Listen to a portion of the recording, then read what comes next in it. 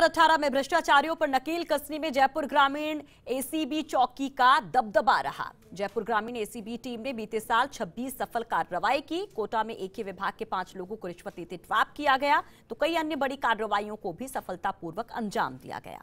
आपको बता दें कि जयपुर ग्रामीण एसीबी के ASP Narottam Verma successful ACB trap के लिए जाने जाते हैं। इस साल की हमारी करीब 26 कार्रवाइयाँ हैं। बाकी जो है पिछले तीन साल से हैं और हमारी जो कार्रवाई चौकी, जयपुर ग्रामीण की चौकी जो है, वो तीस कार्रवाइयाँ दो हज़ार सोलह में भी और सत्रह में भी, अठारह में जो है हमारी छब्बीस कार्रवाइयाँ हैं। और वो सारी कार्रवाइयाँ जो हैं, उसमें खाली जयपुर ही नहीं, जयपुर के बाहर भी अलग अलग डिस्ट्रिक्ट्स पे जा कर के और कार्रवाइयाँ करी हैं।